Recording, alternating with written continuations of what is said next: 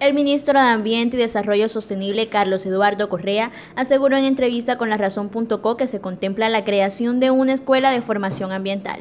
De acuerdo con lo explicado por el funcionario del Estado, el objetivo de esta iniciativa es llevar contenido formativo a instituciones educativas de todos los niveles.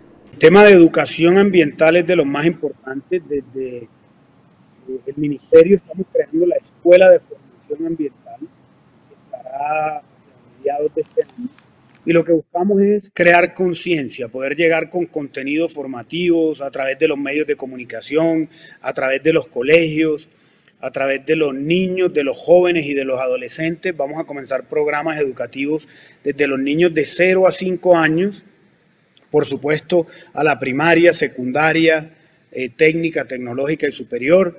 De la iniciativa también formarán parte las empresas con responsabilidad social, así lo dio a conocer Correa. Entonces, a través de la escuela de formación, a través de las alianzas estratégicas con escuelas y universidades, juntas de acción comunal, nos vamos masivamente al país, presencial y virtualmente, por supuesto, a, a hacer formación.